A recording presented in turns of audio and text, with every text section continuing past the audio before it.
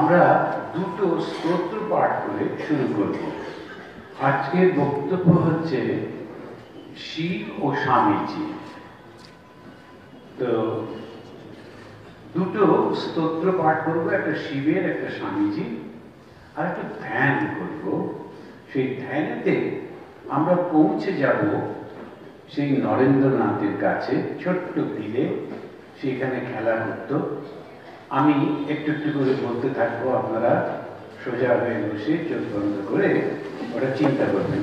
এখন আমরা দুটো স্তোত্র পাঠ করব। এই স্তোত্রটাও শিবের স্তোত্র, স্বামীজির লেখা। পরহিত করণায়।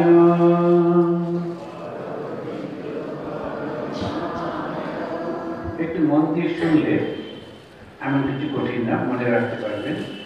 পরহিত করণায় পরহিত মানে অন্যের কল্যাণ সেটা করবার জন্যে পরহিত করণায়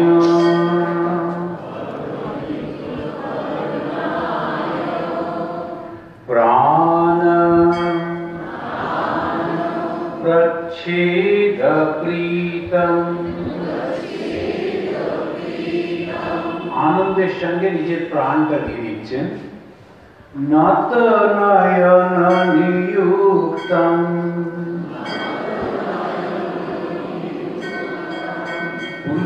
সুন্দর উচ্চারণ করছেন, কিন্তু মায়েদের গলা শোনা যাচ্ছে না। বোধ ঠিক বুঝতে পারছেন না। আমি আর একটু ভেঙে বলব? নত নয়ন নিযুক্তম नीलकण्ठं नमामः নতনয়ন নিযুক্তম যারা তার কাছে আত্মসমর্পণ করে তাদের জন্য তিনি নীলকণ্ঠ হতেও রাজি আছেন তো এই যে পরহিত করণায় অন্যের কল্যাণের জন্য সমস্ত জীবনটা যার তিনি প্রাণ দিতে রাজি থাকেন। প্রাণ প্রচ্ছেদ প্রীত আনন্দের সঙ্গে। আর তিনি সেই নীলকণ্ঠ ভালোবাসেন, যারা তার কাছে নত নয়ন হয়, অর্থাৎ তার আশ্রয় গ্রহণ করে। আমরা আরেকবার এইটা করি। তো এটা স্বামীজি লিখেছেন শিব সম্পর্কে। পরহিত করণায়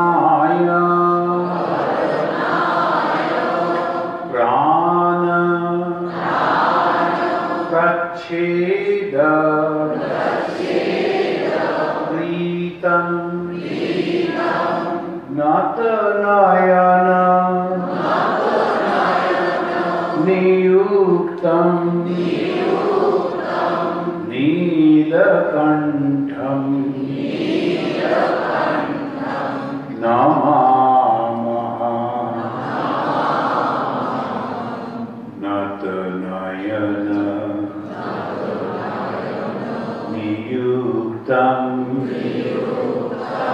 নীলকণ্ঠম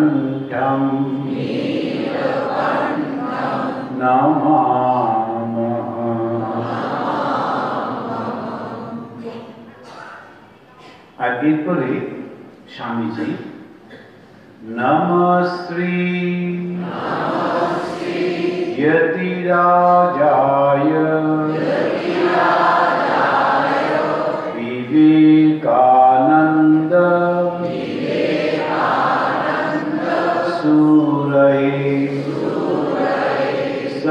সঞ্চিত সুখ।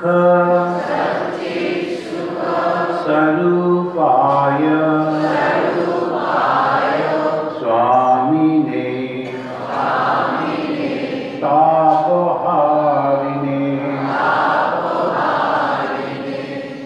শিবের মতো স্বামীজিও সবার দুঃখ দূর করেন। স্বামীজি, তিনি তাপ হারিনে তিনি তাপ বা দুঃখ বা কষ্ট তিনি দূর করেন।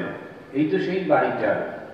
ওই যখন ভিখারিগুলো আসতো, হয়তো ওই যখনই কোনো ঘর থেকে তিনি কাপড়টা ছুঁড়ে ছুঁড়ে দিতেন। যখন প্রথমবার একজন গরিব মানুষকে দেখেছিলেন একজন সন্ন্যাসী, দেবার কিছু ছিল না, নিজের কাপড়টা খুলে দিয়ে দিয়েছেন। খুব খুশি। দিয়ে ওই যে দিগম্বরা হয়ে ঘুরে বেড়াচ্ছেন। আরে কাপড় কোথায় গেল? ও যে চাইলো তাই ওকে দিয়ে দিলাম। ওকে বেঁধে রাখা হতো ঘরের মধ্যে বন্ধ করে। পরহিত করণায় যার জন্ম, অন্যের কল্যাণের জন্য যার জন্ম, তাকে কি আটকে রাখা যায়? বরং আর একটু ভালো হলো। মায়ের ভালো ভালো কারি শাড়ি টাড়িগুলো সব ছুঁড়ে ছুঁড়ে বাইরে থেকে দিয়ে দিত এই হচ্ছে মানব থেকে শিবত্বে উত্তরণ মানুষ সে শুধু চায়, ধরে রাখতে চায়। আর শিব দেয়, সব কিছু দিয়ে দেয়। এই দুটো শুধু পার্থক্য। যখন আমরা জন্মাই, আমরা হাত দুটো মুঠো করে জন্মাই। আর যখন আমরা মরবো, যেন এমনি করে মরতে পারি, সব কিছু তোমার।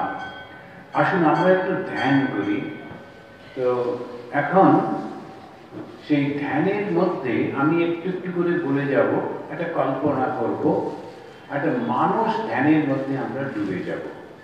চুপ করে ধীরে ধীরে শব্দগুলোর সঙ্গে সঙ্গে একদম নিজেদের মধ্যে ডুবে যেতে থাকুন। এই সেই জায়গা অসাধারণ, আমাদের কত সৌভাগ্য।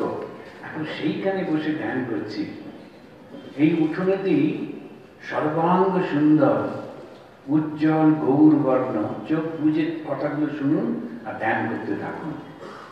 সর্বাঙ্গ সুন্দর উজ্জ্বল গৌর বর্ণ, বড় বড় দুটো চোখ, তাতে বুদ্ধির ছাপ স্পষ্ট। এক মাথা, কালো চুল কোচকানো চুল, তার কপালে এসে পড়েছে। ছেলেটিকে দেখতে চেষ্টা করুন। সেই ছেলেটি চোখের মধ্যে যার বুদ্ধির দীপ্তি, তার মাথাটা, চুলগুলো কপালে এসে ঘামের সঙ্গে আটকে গেছে। ছোট্ট ছেলে আর ছোট্ট ধুতি আর ফতুয়া পরা দেখলেই ভালোবাসতে ইচ্ছা করে ছেলেটিকে। সে ছুটছে আর তার কচি কণ্ঠের হাসির শব্দ, এই বারান্দা, এই উঠোন সমস্ত পেরিয়ে বাতাসে মিশে যাচ্ছে। মা ভুবনেশ্বরী তাকে ধরবার চেষ্টা করছেন, ছেলেকে স্নান করাতে হবে। মাকে সাহায্য করতে বিলে দুই দিদিও খুব ছোটাছুটি করছে। হুলুস্তুলু লেগে গেছে এই জায়গাটার মধ্যে।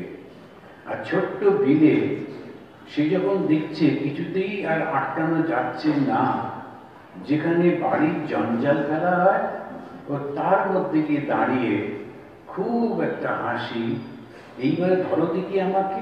ও জানে যে দিদি বা মা ওই জঙ্গলের ওই জঞ্জালের মধ্যে যাবেন না। তাই তার মুখে বিজয়ীর হাসি। যখন তাকে ধরা হলো, তাকে স্নান করানো হবে, ছোট্ট ছেলে চিৎকার করছে, হাত পা চলছে, আর মা তাকে ধরে নিয়ে এসছেন, দিদিরাও ধরে আছে ছোট ভাইটাকে। হঠাৎ মা বালতি থেকে এক ঘটি জল নিয়ে তার মাথায় ঢালছেন আর বলছেন ওম নম শিবায় ওম নম শিবায় ওম নম শিবায়।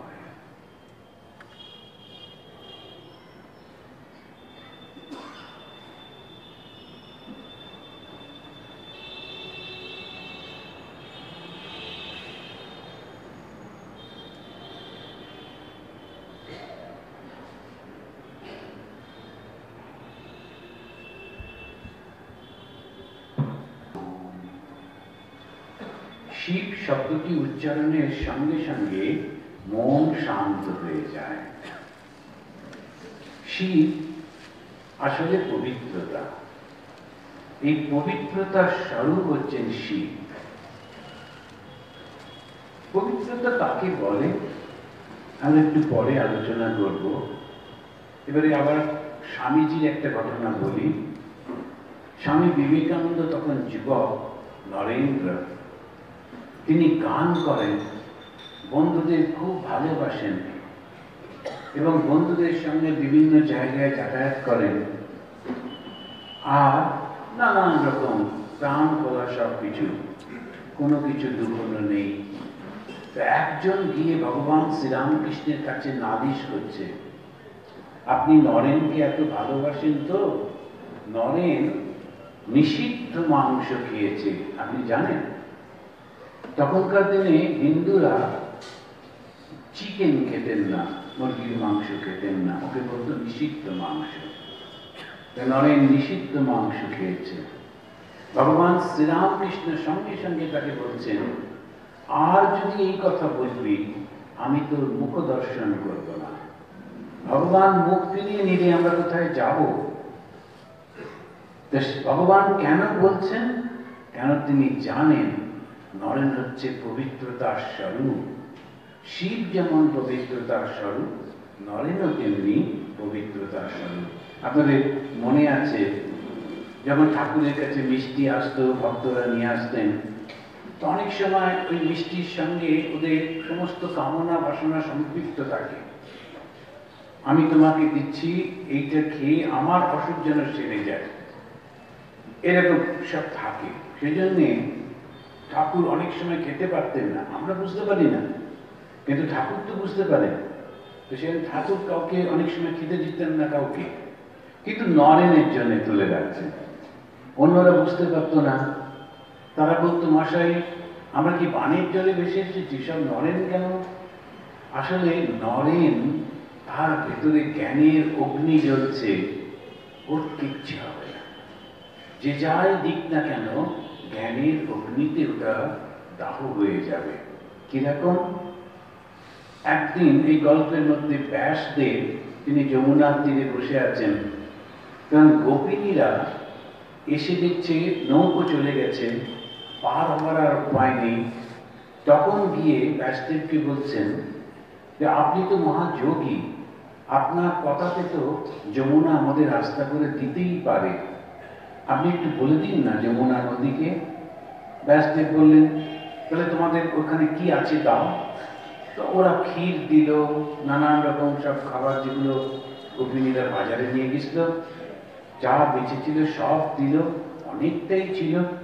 ব্যাসদেব সবটা খেয়ে তারপরে নদীর ধারে গিয়ে বলছেন, হে যমুনে, যদি আমি কিছু না খেয়ে থাকি, তাহলে তুমি রাস্তা করে দাও। এবং যমুনা রাস্তা করেও দিল।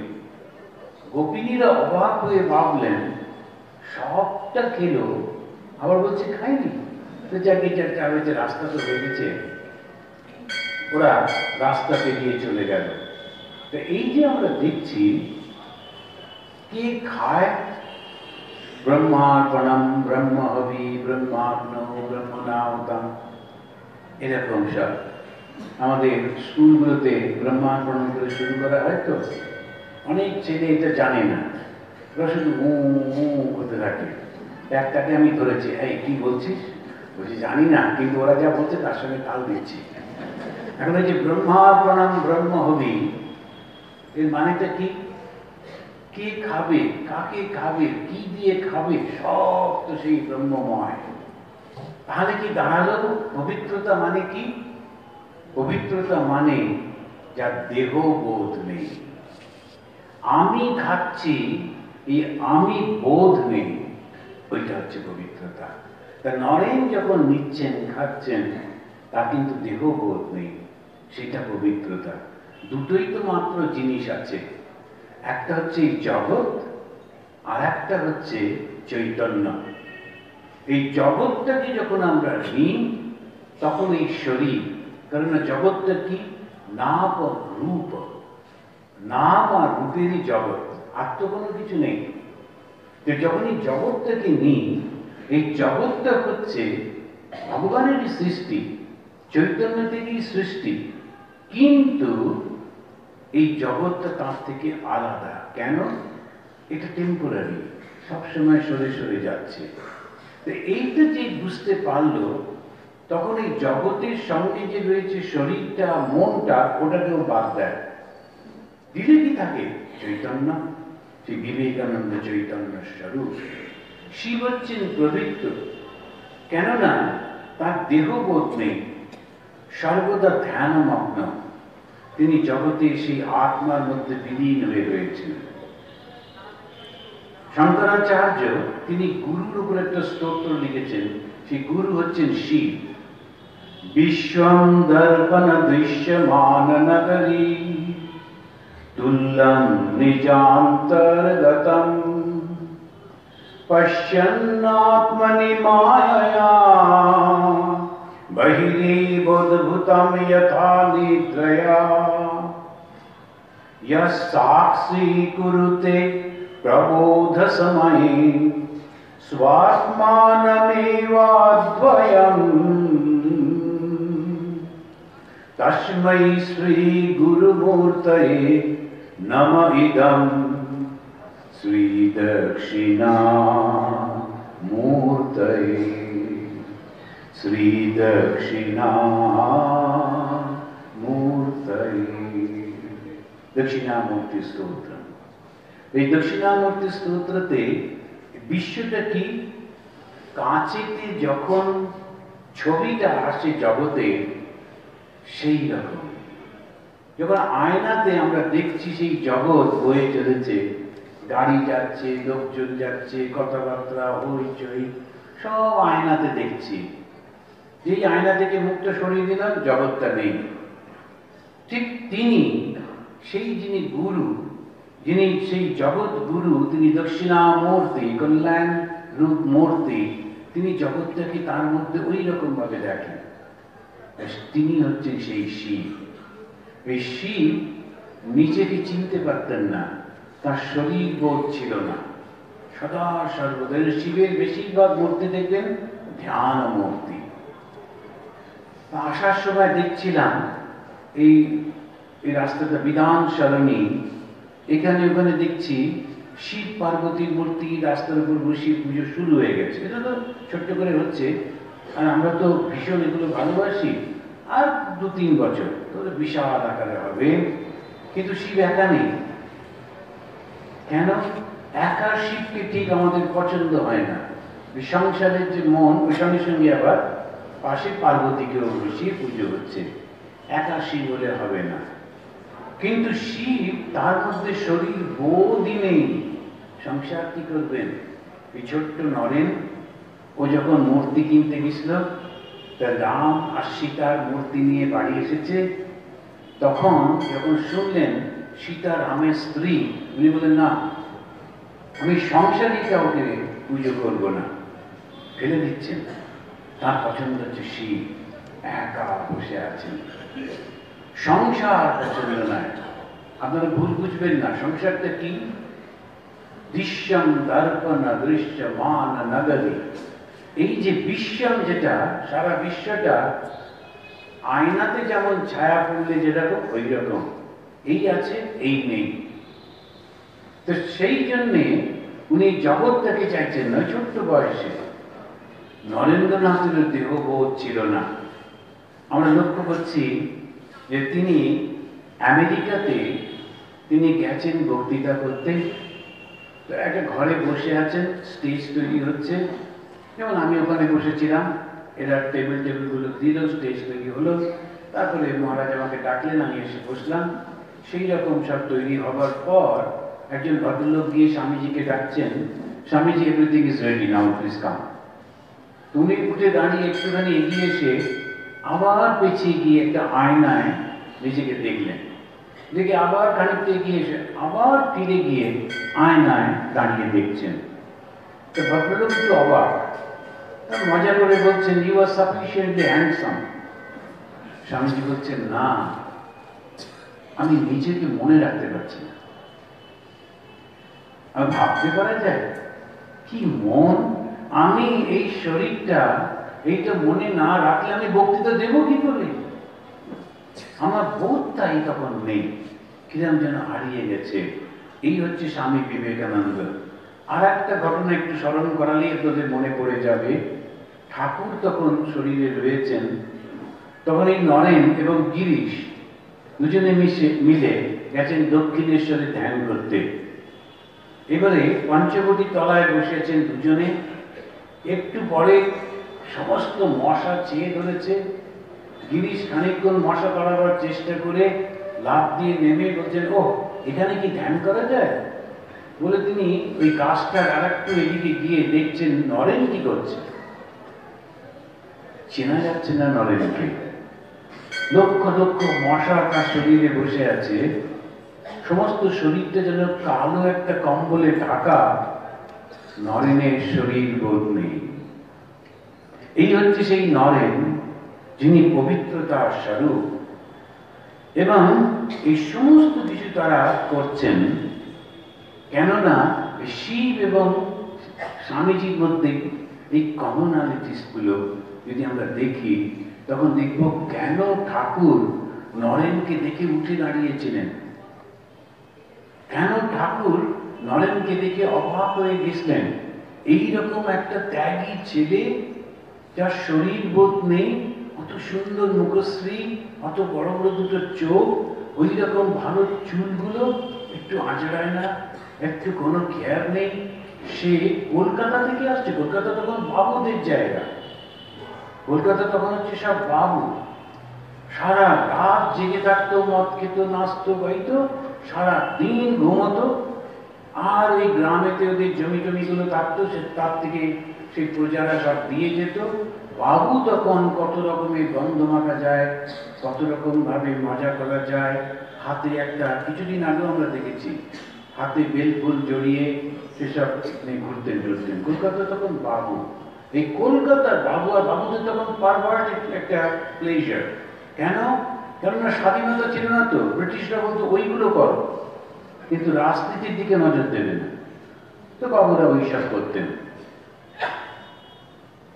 ওই রকম জায়গা থেকে নরেন এসছে আঠারো উনিশ বছরের ছেলে। কি সুন্দর সুঠাম শরীর। কিন্তু শরীরের দিকে মনই নেই। ঠাকুর উঠে দাঁড়াবেন। আপনারা জানেন যে সেই হচ্ছে নরেন। যে তিনি চাচ্ছেন তার মধ্যে ওই প্রচণ্ড শক্তি, ওই পবিত্রতা। শিব হচ্ছেন সত্য স্বরূপ কাউকে কথা দিলে কথা রাখতেন। আমি এবারে প্রত্যেকটা জায়গায় খুব সিম্পলিফাইড করে দিয়েছি ধর্মটাকে। কেননা ধর্মটা খুব গোলমেলে বেশিরভাগ ইয়াং যারা একটু এডুকেটেড যারা তারা বলছেন না, ধর্ম মানেই হচ্ছে ওই রকম ডুজ অ্যান্ড ডোনস এর লিস্ট এটা করো না, এটা করো, ওর মধ্যে আমরা নেই। ওই রকম গিয়ে মন্দিরের মধ্যে গুতুগুতি করে প্রণাম, আমরা বিশ্বাস করছি না। এরকম অনেকে আছেন, এখন আমেরিকা একটা মুভমেন্ট হচ্ছে। We are not religious but we are spiritual এখন স্পিরিচুয়াল মানেটা কি? রিলিজিয়ান মানেটা কি? আমরা ঠিক জানি না। সেই জন্য আমার মনে হয়েছিল যে একটু দেখতে হবে যে ধর্মটা কি? কথা দিয়ে কথা রাখা। ব্যাস। তুমি যে কথা দিয়েছ, সেই কথাটা রাখতে হবে। আর সেই জন্য নানান উদাহরণ দিয়েছি আগের আগের সব বক্তৃতাগুলোতে। এখন আমরা দেখছি শিব ঠাকুর একটা কথা দিয়েছিলেন। সেটা কাকে? চাঁদকে। এখন এগুলো একটু মাইথোলজিক্যাল আমরা একটা সত্যকে, একটু সুন্দর ঘটনাকে, সেটা একটু গল্পের মধ্যে দিয়ে বললে আমাদের খুব সুবিধা হয়, ভালো লাগে। সেটা হচ্ছে চাঁদ সাতাশ জনকে বিয়ে করেছিলেন একসঙ্গে। সাতাশ জন তারা সব বোন টোয়েন্টি সেভেন সিস্টার্স তো যারা রাজা হয়, তারা একটা পরিবারের সব মেয়েদের বিয়ে করে। কেন? কেননা অন্য কেউ যদি সেই পরিবারে আরেকটি মেয়েকে বিয়ে করে, তো রাজার ইকুয়াল হয়ে গেল। ওর শ্বশুর বাড়িতে খুব সুন্দর বলে মহারাজ বলে গেলেন, শাস্ত্রে বলেছে। এবারে যখন দুই জামাই ওই শ্বশুর বাড়িতে যাবে, তখন রাজার সঙ্গে ইকুয়ালি ওই লোকটাও বসবে আর একটা বোনের স্বামী। এটা রাজার সম্ভব না। এখনও দেখবেন, নেপালের রাজা হোক বা ছোট ছোট রাজা, তারা যখন বিয়ে করে ওই বাড়ির সবগুলো, রামচন্দ্র বিয়ে করতে গিয়ে চার বোন ছিল, চার ভাই ছিল বলে চারজনকে মিলে হয়তো এখন বিয়ে দেবেন বলে ভীষ্ম গিয়ে তিনটে মেয়েকে উঠিয়ে নিয়ে চলে এসেছিলেন। সব একসঙ্গে। কেন? না, আবার কে ওই বাড়িতে বিয়ে করবে? আমাদের সঙ্গে হবে সব হবে না। এরকম ছিল। তো চাঁদ নিজেকে রাজা মনেই করে। ও দেখল সাতাশটা বোন। সাতাশ বোনকেই বিয়ে করল, তাতে আপত্তি ছিল না। কিন্তু কন্ডিশন হলো, সবাইকে তুমি সমান ভালোবাসবে। এবারে প্রত্যেকটা এক একটা রাত্রি, এক এক বোনের সঙ্গে থাকতে হবে। সেটাই করতো। কিন্তু গোলমাল হলো রোহিণীর তাকে চাঁদ একটু বেশি ভালোবাসত। ওর কাছে একটু বেশি সময় কাটাতো। তাতে বাকি ছাব্বিশ জন খুব রেগে গিয়ে বাবাকে বলে দিলেন, বাবা, চাঁদকে অভিশাপ দিলেন। তুমি কথা দিয়েছিলে, কথা রাখুনি। সেই জন্য তুমি ক্ষয়ে ক্ষয়ে যাবে। তোমার এই সৌন্দর্য আর থাকবে না। চাঁদ দেখছেন, একটু একটু করে ক্ষয়ে যাচ্ছেন। তখন অনলি কৃষ্ণটা বেঁচে আছে। ওই শুধু একটু, এই যে একটু চাঁদে এসে ছোট্ট একটা যেটা আমরা দেখতে পাই, ও তখন শিবের কাছে দৌড়ে গিয়ে বলল, শিব আমাকে রক্ষা করা। শিব প্রতিজ্ঞা করেছেন, যে আশ্রয় চাইবে তাকেই রাখব।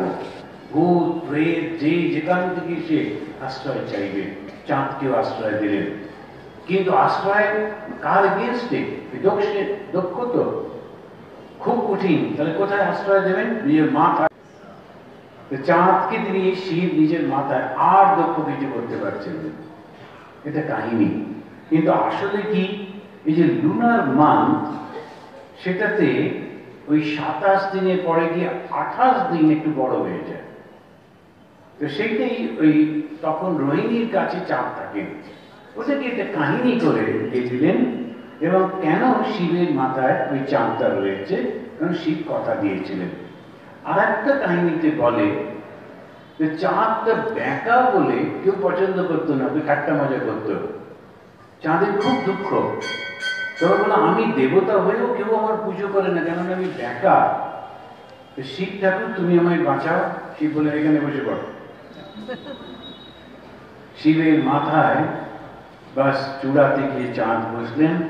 সমস্ত পূজা চাঁদকে করতেই হবে। এই হচ্ছে শিব কথা দিয়েছিলেন, কথা রাখলেন। নরেন্দ্রনাথ কথা দিয়েছিলেন তার বন্ধুকে। বন্ধু ভীষণ গরিব এবং তার পরীক্ষার ফিস জমা দেওয়ার টাকা ছিল না। তখন সে নরেন্দ্রনাথকে বলল, নরেন, তুই একটু আমাকে সাহায্য করবি? নরেন্দ্র বড় লোকের ছেলে। কিন্তু নরেন বলল, আমি সাহায্য করব। তুই চিন্তা করিস না, টাকা টাকাটা দিয়ে দিচ্ছি। তো সেটা ওর তখন গেছেন গিয়ে যে রেজিস্ট্রার ছিলেন, তাকে বললেন, দেখো, গরিব ছেলে, আমাদের স্কুল থেকে অনেক স্টাইপেন দেয়, ওকে একটা স্টাইপেন দিন দিয়ে ওটা মুকুব করে দিন আপনি অনেকে করেন। রেজিস্ট্রার কিছুতেই করবে না। তখন সবাই খুব হতাশ হয়ে পড়ল এবং ওই ছেলেটি বলল এবছর আর আমার পরীক্ষা দেওয়া হবে না। নরেন বললেন, দাঁড়া কথা যখন দিয়েছি, পরীক্ষা তুই দিবি দিবি দাঁড়া, দেখছি ব্যবস্থা। নরেন খবর নিলেন। সেই রেজিস্টার অফিসের পরে একটা জায়গায় গিয়ে একটু গাঁজা খেতেন। আর শুধু কি গাঁজা? আর সঙ্গে আবার একটু এটা ওটা। এখন নরেন দেখলেন যে সমস্ত খবর নিয়ে একদিন গিয়ে দাঁড়িয়ে আছে। এবারে রেজিস্টারে গাঁজা টাজা খেয়ে বেরিয়েই গাঁজার সমস্ত নেশা উড়ে গেছে। যে নরেন একদম সে শরীর হয়তো মারবে নাকি? তখন নরেন বলছে, মশাই, বেশ তো এইসব করবার পয়সা তো আছে। আর একটা গরিব ছেলে পরীক্ষা দেবে, তার সময় আর পয়সা জোটে না। ঠিক আছে, এটাই আমি বলব স্কুলে গিয়ে, কলেজে গিয়ে যেই আপনি করেন। তখন ও চাকরি চলে যাবে ভয় পেয়েছে ভাই ভাই এটা করিস না। আচ্ছা ওই ছেলেটিকে আমি ব্যবস্থা করে দিচ্ছি। নরেন বললেন আচ্ছা ঠিক আছে। কথা দিয়েছি তো কথা রাখব। সেই ছেলেটি পরীক্ষা দিতে পেরেছিল। এই হচ্ছে নরেন। কথা দিয়েছেন, কথা রাখবেন। আমরা পরে দেখছি, শিব হচ্ছেন খুব দয়ালু। এখন এই যে দয়ালু শিব, তিনি কি করেন? তিনি বসে আছেন, যখন সমুদ্র মন্থন হচ্ছে, ওকে কিন্তু কেউ ডাকেনি। কিন্তু শিবের তো মান অপমান কিছু নেই। সব রাজারা এই দেবতারা এসছেন, সবাই এসে নিজের নিজের ভাগ নিচ্ছেন। এবারে বিষ্ণু একটু চালাক লোক, তিনি যেটা ভালো উঠছে সেটাই তিনি নিচ্ছেন আচ্ছা ওটা কি উঠল? সমুদ্র মন্থন করে বলে একটা ভালো গাছ, সবসময় ফল হয়। আচ্ছা আমার বাগানে পাঠিয়ে তারপরে ওটা কি? ওটা ও বলছে যে খুব ভালো, ওরা উঠেছে। আচ্ছা ওটা আমাকে দাও, দেখছি। তারপরে ইন্দ্র এসে বলল, এটা হাতি উঠেছে না বড়? ওটা আমি চড়বো। এসব চলছে চলছে। শিবকে কেউ ডাকিনি, ওনার তো জগতের দিকে মনও নেই, একলা একলা বসে আছেন। এইবারেতে যখন সেই মন্থন করতে করতে যখন বিষ উঠতে শুরু করল, তখন কে নেবে? সমস্ত দেবতারা বললেন আমরা ওর মধ্যে নেই। তারপরে কি হবে? তখন সবাই শিবের কাছে গেল। একবারও বললেন না যে তোমরা প্রথমে তো আমাকে ডাকুনি, এখন কেন? সঙ্গে সঙ্গে পরহিত প্রেম তার সেই ভালোবাসাটা বৈশাখের মধ্যে মানুষ কষ্ট পাচ্ছে, এক্ষুনি পৃথিবীটা ধ্বংস হয়ে যাবে। উনি গিয়ে সমস্ত বিষটা তুলে নিয়ে নিজে গলায় খেয়ে নিলেন। এখন সেই বিষটা একেবারে তার ভেতরে গেল না, গলা পর্যন্ত আটকে গেল। আবার একটু গল্পটাকে একটু সুন্দর করবার জন্য বলা হয়। খবর পেয়ে পার্বতী মা ছুটে ছুটে এসে স্বামীকে থামাতে গেল। তুমি কেন সবকিছুর মধ্যে? তারপর দেখছি শতক করে শিব বিষটা পান করে নিয়েছেন। তো গলাটা চেপে ধরলেন। তো গলাতেই বিষটা থেকে গেল। তিনি ওই নীলকণ্ঠ হয়ে গেলেন। সমস্ত কাহিনী। কিন্তু কথাটা হচ্ছে, ওই যে আমরা সমুদ্র মন্থন বলি হিন্দুরা সবসময় এক একটা দারুণ সুন্দর সুন্দর সত্যকে গল্পের মধ্যে দিয়ে বলে কেননা মানুষ এই গল্পটা খুব ভালো রাখে। আর গল্পটার জন্য কোনোদিন ভুলবেন আপনি যে কোনো, আপনি নর্থে গিয়ে একবার বলুন যে সমুদ্র মন্থন সবাই এই গল্প জানে। আমরা বেড়াতে গেছিলাম কয়েকটা দেশে, এই এশিয়ান দেশগুলোতে। সমুদ্র মন্থনের বিরাট বিরাট ছবি টবি রয়েছে, মূর্তি। কিন্তু আসলে সমুদ্র মন্থনটা কি? এবার যদি ভেবে দেখি ওই সমুদ্র মন্থন হচ্ছে আমার মনটাকে মন্থন করা।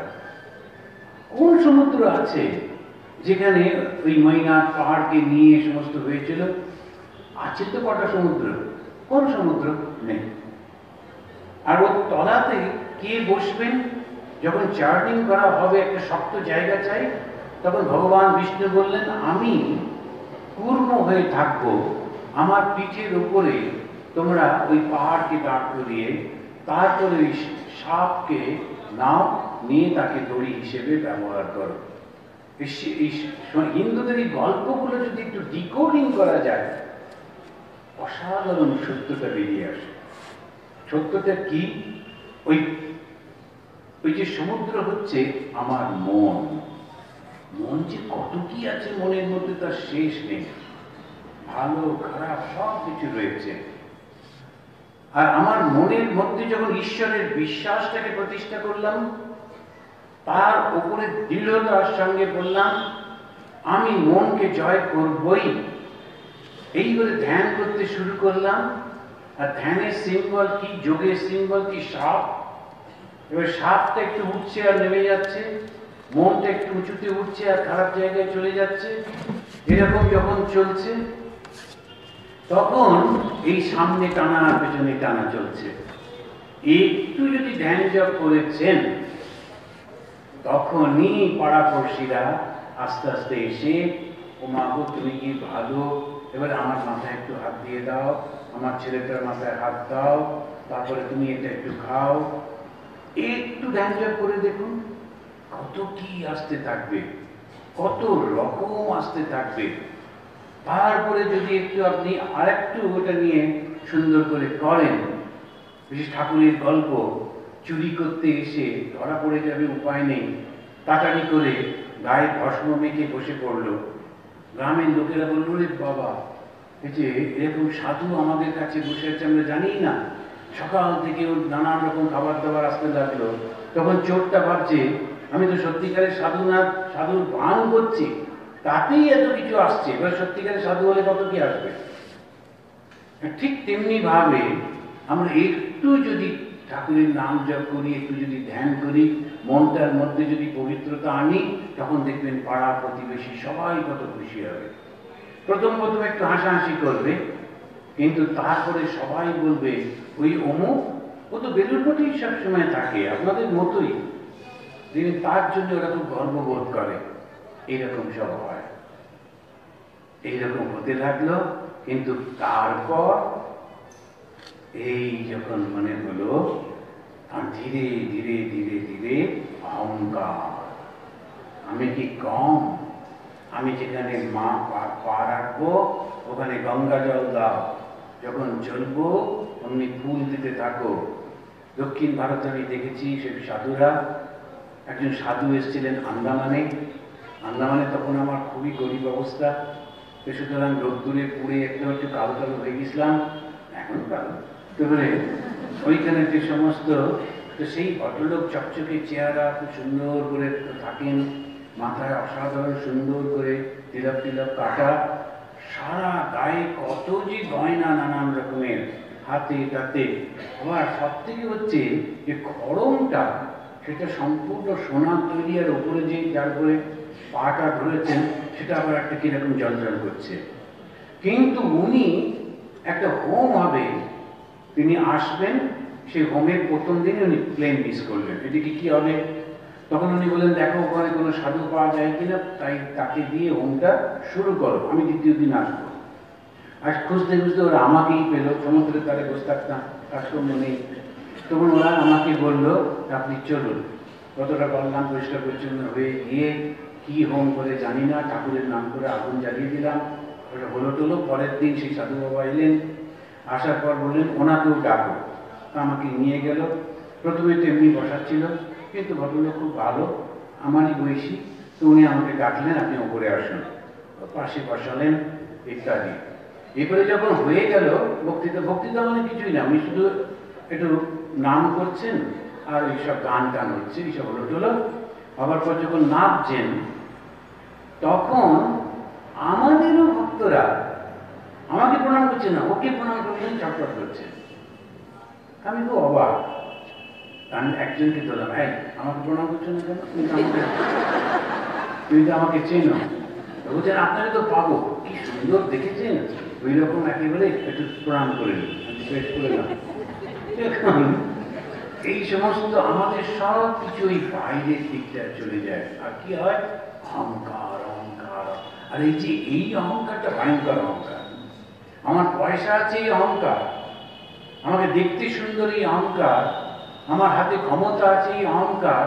তার তুলনায় এই অহংকার আমি হচ্ছি ভগবানের কাছাকাছি লোক, আর তোমরা সব নিচ্ছ সেটা ভয়ঙ্কর অহংকার। আর এই সাধুদের জীবনে উঠে যায় এই যে আপনারা হাততালি দেন যে কি ভয়ঙ্কর। যে জানে, সে জানে। আমাদের একজন সাধু, নতুন সাধু হয়েছেন, খুব সুন্দর বক্তৃতা করেন। এই বেদান্ত সোসাইটিতে এখানে আছে না নর্থে তো এখানে এসে, বেদান্ত মঠ বোধ হয় সেখানে খুব সুন্দর বক্তৃতা করেছেন। তারপরে দাঁড়িয়ে আছেন দরজার কাছে। ওখানকার মহারাজও দাঁড়িয়ে আছেন। তারপরে সবাই আসছে, প্রণাম করছে, বলছে, মহারাজ, আপনি কি সুন্দর কথা বলেন। কি সুন্দর, আরও বেশ ভালো লাগছে ওর হাসি মুখে খানিক্ষণ পরে পুরো সাধু বলছেন দেবরা শুধু তোমাকেই বলছো না, সবাইকেই বলে। যতজন এখানে বক্তৃতা করতে আসে, সবাইকেই বলে, মহারাজ আপনি কি সুন্দর বক্তৃতা করেছেন। বলে চলে যায়। কিছুই মনে রাখে না সেজন্য ওরা বছরের পর বছর বক্তৃতা শুনতে আসে। যদি মনে রাখতো আর কি আসতো? এখন এইরকম যে আমাদের, মাঝে মাঝে সমস্ত জিনিসগুলো যে অহংকার যখন ওই চার্নিং হচ্ছে, যখন আমরা সমুদ্র মন্থন হচ্ছে, যখন আমরা মনের মধ্যে সেই ভগবানকে নিয়ে ধ্যান করার চেষ্টা করছি, তখন ভালো ভালো জিনিস যেমন ওঠে, তেমনি আসে, একেবারে শেষে গরল। এই গরল হজম করতে পারে একমাত্র শিব। কেন? তার তো শরীর বোধই নেই। অহংকার থাকবে কোথায়? অহংকার কার হয়? যার শরীর বোধ আছে। ভগবান শ্রীরামকৃষ্ণের শরীর বোধই ছিল না, বুঝলেন তার কোনো অহংকার ছিল না। স্বামী বিবেকানন্দের শরীর বোধই ছিল না, অহংকার কোথায় থাকবে? শিবের অহংকার ছিল না বলেই ওই কল্পনা করা হয়েছে, উনি বিষটা গ্রহণ করেছিলেন। বিষ কেন খেতে যাবে? এবারে সঙ্গে সঙ্গে সায়েন্টিস্টরা নেমে পড়ল, বিষ খেলে কি কি এফেক্ট হয়? গলাতে বিষ থাকতে পারে না, সেটা নিশ্চয়ই পেটে গেছিল তার ওসবের মধ্যেই নেই। এর সমস্ত কাহিনীটাই হচ্ছে ধ্যান করবার পর যে শক্তি আসে, সেই শক্তিটাকে সংযত করা সহজ কথা নয়। ঠাকুরের গল্পটা আপনাদের মনে আছে যে যখন ভগবান শ্রীরামকৃষ্ণ যাচ্ছেন, তার সেবক তার পাশে পাশে যাচ্ছে আর বলছে, আমি তোমাকে এত সেবা করি, কত লোকে কত রকম হচ্ছে আমার তো কিছু হয় না। এই ওই সেবক তার ভাব নেই হৃদয় রাম ঠাকুর বললেন আচ্ছা কিছু হবে। হঠাৎ করে অন্ধকারের মধ্যে থেকে দেখছে, গা থেকে আলো পড়ে রাস্তাটা আলো আলো হয়ে যাচ্ছে। আবার ঠাকুরের দিকে তাকিয়ে দেখছে, ওরও গা থেকে আলো বেরোচ্ছে। এখন আর মামা টামা ভুলে গেছে, রাম নাম ধরে ডাকছে। ওরে রামকৃষ্ণ, আমরা সাধারণ লোক নই, চল গিয়ে জগৎ উদ্ধার করি। আর ঠাকুর তো গ্রামের লোক, সঙ্গে সঙ্গে আমাদের মতো এত স্টাইল করে কথা বলতেন না। তিনি তার বিখ্যাত সেই শব্দটা ব্যবহার করলেন, আমি এখানে বলছি না, চুপ করে থাক। এখন এইরকম যে ভাবে উনি চুপ করিয়ে দিলেন, কেন? হজম করার ক্ষমতা নেই। আর নরেন্দ্রনাথের মধ্যে কত কিছু আসছে, প্রশংসা, কিচ্ছুই হচ্ছে না। রাজপুতানায় যখন ঘুরতেন, তখন সেখানে একদম কেউ চেনে না তো রাস্তার ধারে ঝুপড়ি করে এক বুড়িমা থাকতো। এখন ওখানে কাজ করতো, ঝুপড়িতে। আর ওখানে গিয়ে ঝুপড়িতে ওনাকে পেয়ে গিয়ে তখন ওখানে বলতে, তুই বস, খা। বলে, লিট্টি বানাতেন। ওরা সব লিট্টি বানায়। সেটা কোনো কি কেটে দিয়ে বানাতেন আর দুজনে খেতেন। এই আমাদের তখন পরিব্রাজ বিবেকানন্দ আর ওই বুড়িমা। তারপরে বিবেকানন্দ, বিখ্যাত বিবেকানন্দ হলেন জগৎ জোড়া তার নাম। তিনি এসেছেন রাজবাড়িতে উৎসব হচ্ছে, রাজার অতিথি। তিনি এসে আছেন, তারপর একদিন বেরিয়ে পড়েছেন। খুঁজে খুঁজে ওর কাছে গেছেন। গিয়ে বলছেন, ও বুড়িমা, কেমন আছো? তা বুড়িমা বলছে ওমা তুই কতদিন কোথায় ছিলি? দেখতে পাইনি। আয়, বলছে, একটা লিট্টি দাও। লিট্টিও খাচ্ছেন। গল্প গুজব হচ্ছে। তারপর বলছেন, বুড়িমা, এসো, এত যে রাজার বাড়িতে আলো টালো দিয়েছে তো কি বলো তো ওনার বিরাট বড় একটা সাধু এসছে। রাজার উনি হচ্ছেন গুরু। তো বলে, চলো, দেখতে যাবে? বুড়িমা হচ্ছে যাসনি। আমাদের মতো গরিবদের ওখানে ঢুকতে দেয় না। তখন স্বামীজি বলছেন, চলোই না, দেখি না রাজা সেই বুড়িমা অবাক হয়ে দেখছেন যে তার সেই ছোট্ট যে লাল কি যেন বলতেন ওনাকে কীভাবে ডাকতেন মানে ছোট্ট রাম রাম লালা ওরকম ভাবে ডাকতেন সে এখন রাজার অতিথি। রাজার গুরু। আর স্বামীজি খুব খুশি ওকে নিয়ে এসে সম্মান দিয়ে। আর একটা ঘটনা বলি, একটুও তার মধ্যে অহংকার বোধ ছিল না। তিনি আলমোড়াতে যখন হাঁটছিলেন, অখণ্ডানন্দজির সঙ্গে, তখন অজ্ঞান হয়ে পড়ে গেছিলেন একটি জায়গায়। একজন মুসলিম তাকে একটা শশা খাইয়ে প্রাণ বাঁচিয়েছিলেন। পরবর্তীকালে আবার যখন তিনি আলমোড়ায় গেলেন তখন দারুণ একেবারে উৎসব হচ্ছে। এই সমস্ত লোকেদের মধ্যে হঠাৎ স্বামীজি দেখলেন সেই মুসলিম ভদ্রলোক বসে আছেন। উনি নেমে গিয়ে তার হাত ধরে তাকে নিয়ে এসে বললেন, এই সেই ভদ্রলোক যিনি আমার মান, আমার প্রাণ বাঁচিয়েছিলেন। অহংকার থাকলে এটা হয়, কখনো হয় না। বিবেকানন্দ তার মধ্যেও কিন্তু কোনো অহংকার দেখিনি। আমরা দেখছি বিবেকানন্দ ক্ষমাশীল, শিব, তিনি ক্ষমাশীল। সতী যখন দেহত্যাগ করেছে, তার দেহ নিয়ে ঘুরছেন, তিনি ওই দক্ষকে মেরে ফেলবেন, তখন বিষ্ণু কি ওকে খুব করে বোঝাচ্ছেন যে দেখো এটা করো না। কারণ দক্ষ প্রজাপতি না থাকলে সমাজটা ভেঙে যাবে। রাজা না থাকলে সমাজটা দেখবে কে? তুমি ক্ষমা করে দাও। তখন ক্ষমা করে দেওয়া হলো। কিন্তু দক্ষকে আর অত সম্মান দেওয়া হবে না। কেন? ওর বুদ্ধিটা ছাগলের মতো। তো ছাগ মন্দ বলা হতো। এই নয় যে দক্ষের মাথাটা কেটে পুড়িয়ে দেওয়া হলো, তারপরে এখন কি হবে? একটা ছাগলকে কেটে ওর মাথায় বসিয়ে দিল। তারপরে আমাদের পণ্ডিতরা বললেন, আমাদের ভারতবর্ষ কত আগে থেকে এইসব জানতো ডাক্তারি, তারা ছাগলের মুন্ড বসিয়ে দিয়েছে, হাতির মুন্ড বসিয়ে দিয়েছে। জানি না কিন্তু আসল কথাটা হচ্ছে যে একটা মানুষের এইটুকু বুদ্ধি নেই যে পবিত্রতাকে অপমান করতে নেই। শিব হচ্ছেন পবিত্রতার স্বরূপ। তো বুদ্ধিটা ছাগলের মতো। ছাড়াকে একটু মজা করি। আমি যখন পুরুলিয়ায় ছিলাম, তখন হোস্টেলের ছেলেরা জানেন তো, সবসময় একে অন্যের নানা রকম নিক নাম দেয়। তারপরে মাস্টারমশাইদেরও নাম দেয়। একটি ছেলে তখন ক্লাস এইট কিন্তু অল্প অল্প কয়েকটা দাড়ি বেরিয়েছে। তখন ওর বন্ধুরা ওকে ছাগল বলতো। বলতে বলতে নামটাই ভুলে গেছে। ডিউটি পড়ে রবিবার দিন গার্জেনরা দেখা করতে আসে। তো একটি ছেলে, তার ডিউটি ছিল বাইরে দরজাটার কাছে ঝাড় দেওয়া ঝাড় দিচ্ছে। তখন ওই ছেলেটির বাবা এসে বলছেন আচ্ছা অমুককে একটু ডেকে দাও তো, আমিও নামটা ভুলে গেছি। অমুককে একটু ডেকে দাও তো। আর সঙ্গে সঙ্গে ও ওইখান থেকে চিৎকার করে বলছে, এই ছাগল তোর বাবা এসেছে।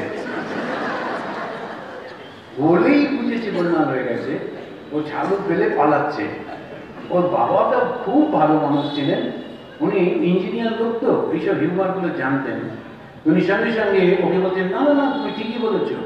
ওটা ছাগল আর আমি রাম ছাগল।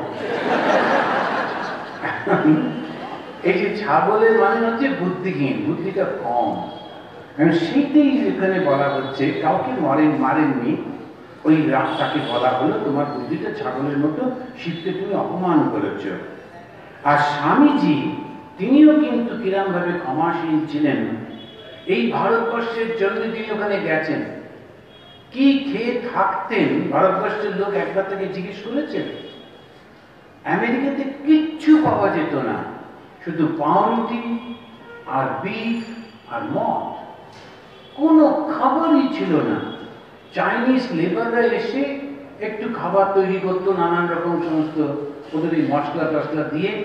তখন আমেরিকা শিখলো মশলা দিয়ে কি করে খেতে হয়। জানতো না কিচ্ছু বিবেকানন্দ যখন গেছেন, তখন একজন মাত্র হিন্দু এবং ভারতীয় বলা যেতে পারে। আর দু চারজন এমনি গেছিলেন বক্তৃতা করতে ভারতবর্ষ থেকে। এখন সেখান থেকে কি খেতেন? দিনের পর দিন পাউরুটি আর জল কিচ্ছু ছিল না। ওরা অত চাও খেত না। তাই ভেবে দেখেছেন কি কষ্ট করে তিনি থাকতেন? তারপরে ধীরে ধীরে দেশ থেকে এই ভাত, চাল নিয়ে যেতেন, ভাত ফুটিয়ে নিজে খেতেন। অনেকটা করে লঙ্কা মেখে ওই ভাতটা খেতেন। লঙ্কা হলে কোনো রকমের খাওয়া হয়ে যায়। আমরা কোনোদিন ভেবে দেখেছি? সুন্দর চেহারা, কোটটা পরে আছে কোট না বললে ওখানে থাকতে পারবে? এখানে খালি গায়ে একটা গামছা কোমরে বেঁধে ঘোরা যাবে? কিন্তু আমরা এত ঈর্ষা আমাদের আমরা নিন্দা করতে লাগলাম। বিবেকানন্দ খারাপ বিবেক, উনি ভারতবর্ষের সমস্ত কিছু করে চলেছেন।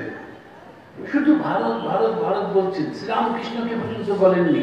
তার পরবর্তীকালে তার গুরু ভাইরা পর্যন্ত বলেছিলেন, ওই তুমি ঠাকুরের নাম তো করনি আর সেই ভারতীয়দের মধ্যে, বিশেষ করে কলকাতা থেকে কেউ কেউ, তারা নিন্দা মন্দ করে চিঠি দিত এবং এমন চিঠি যেসব বাড়িতে যেত বলতেন যে ও অত্যন্ত চরিত্র খারাপ, নিচু জাতের লোক। বাড়িতে যদি অল্প বয়সী মেয়েটাকে খুব সাবধান। এইরকম সব চিঠি ছিল। তখন ওরা সব ছেড়ে ফেলে দিত জানতো বিবেকানন্দকে। যখন একদিন তার বন্ধুরা তাকে বলছেন, স্বামীজির বন্ধুরা আপনি একটা উত্তর দিচ্ছেন না কেন? স্বামীজি জানেন কি বলেছিলেন? এই হচ্ছে বিবেকানন্দ।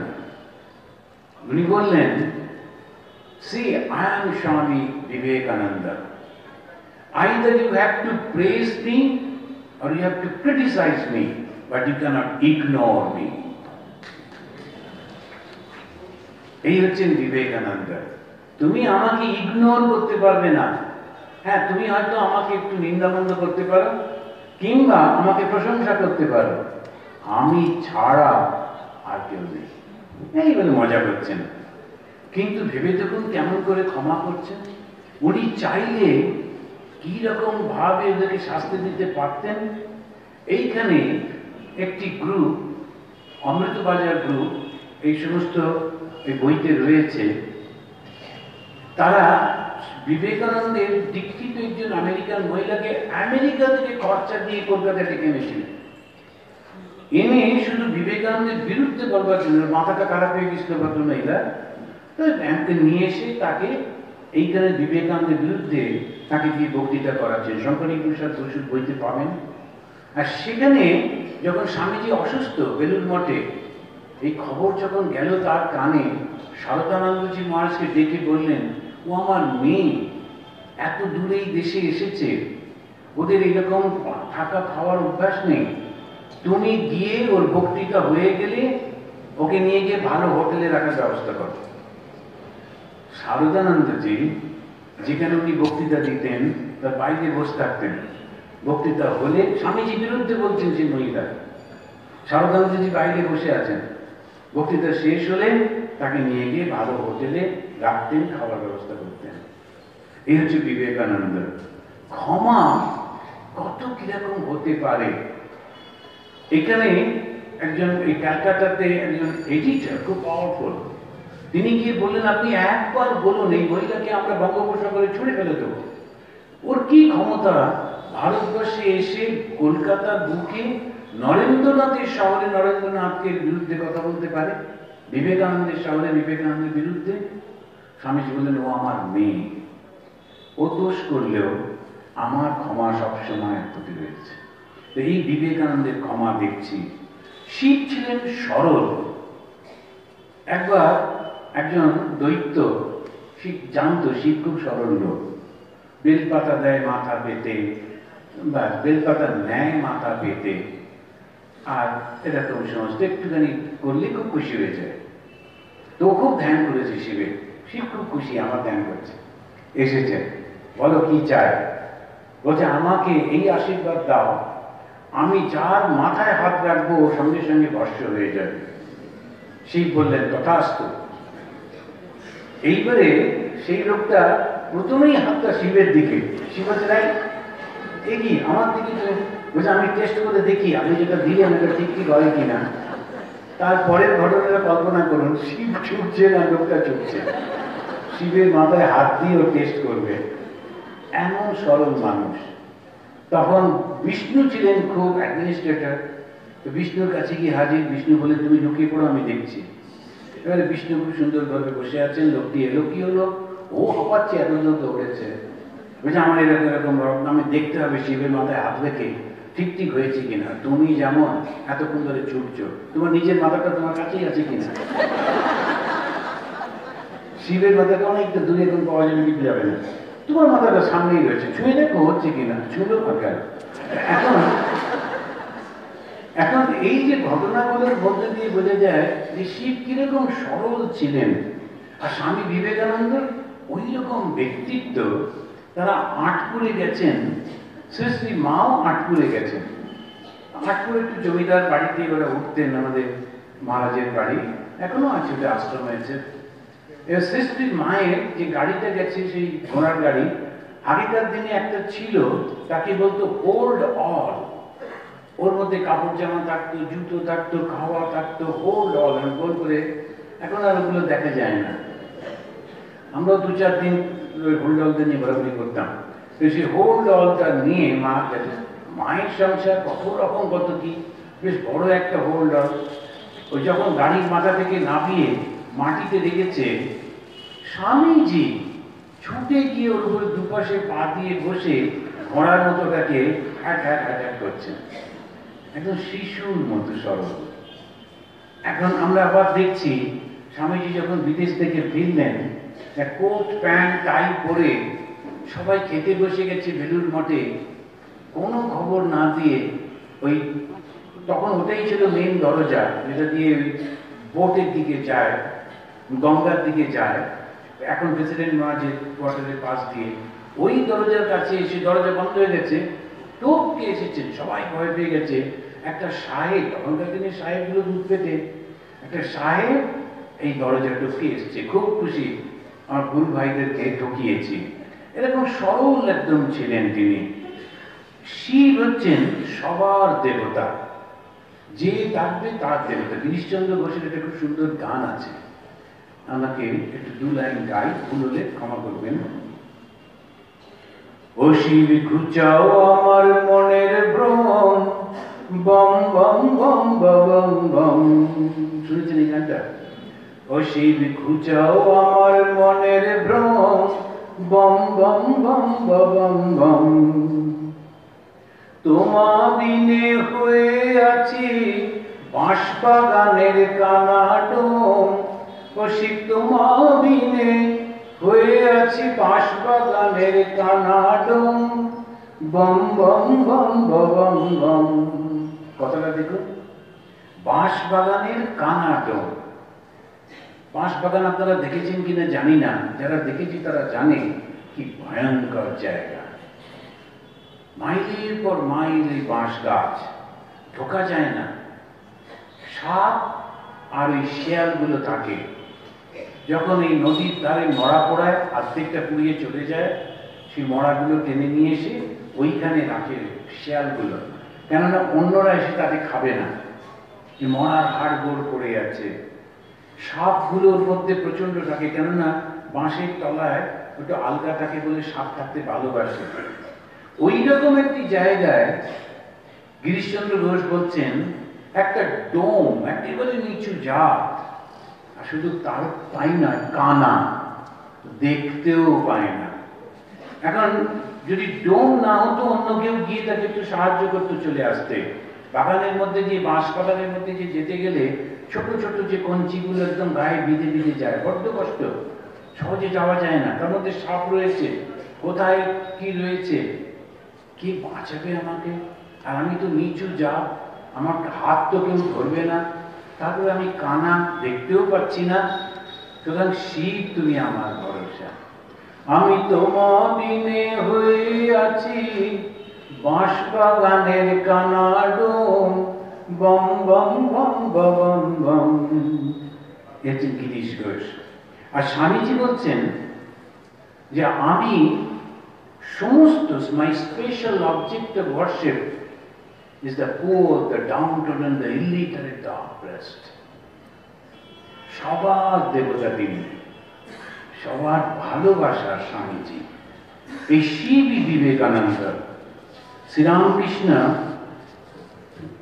বলেছিলেন যেদিন ও নিজের স্বরূপ জানতে পারবে, সেদিন আর ওকে ধরে রাখা যাবে না। বিবেকানন্দ, তিনি গেছিলেন অমরনাথে। অমরনাথে গিয়ে তিনি যখন দেখলেন সেই শিবকে তারপরে যখন ফিরে এলেন, একদম পাল্টে গেলেন। এত কাজ কর্ম এত কিছু, আর কিছু নেই। যাই প্রভু, যাই। মৃতের সৎকার মৃতেরা করুক। আমি তোমার কাছে যাব, যাই প্রভু, যাই। তা বিবেকানন্দ তখন নিজেকে গুটিয়ে নিলেন, কেন? নিজের সত্তাকে দেখে ফেলেছেন নিজে ঠাকুর বলেছিলেন, যেটি নিজের সত্তাকে জানতে পারবে। কি সেই সত্তা? স্বামীজি বলছেন, অমরনাথে গিয়ে আমি দেখলুম, শিব আমার কাঁধে চড়ে বসে আছে। আর নামলো না। শিব বিবেকানন্দ। সে বিবেকানন্দের যে ঘর আছে, সেই ঘরটি এখন বেলুর মঠে। ওর পাশেই থাকতেন বিজ্ঞানানন্দজি মহারাজ। মাঝরাতে উঠে উনি বোধহয় বাইরে যাচ্ছিলেন, হঠাৎ দেখলেন স্বামীজির ঘর অনেক আলো। পুলিশ স্বামীজির ঘরের আলোগুলো কেউ নেভায়নি? তখনকার দিনে সেই ল্যাম্পগুলো থাকতো বোধহয় নেভায়নি? স্বামীজি কি করে ঘুমাবে আস্তে করে দরজাটা খুলে অবাক হয়ে গিয়ে দেখলেন সমস্ত ঘর জুড়ে লক্ষ লক্ষ জ্যোতির্ময় শিবলিঙ্গ ওই ঘরটাতে। আর সমস্ত স্বামীজির গা থেকে বেরোচ্ছে, সারা ঘরময় জুড়ে রয়েছে। বিবেকানন্দ শিব শিব বিবেকানন্দ। ওম নম শিবায়, ওম বিবেকানন্দায়।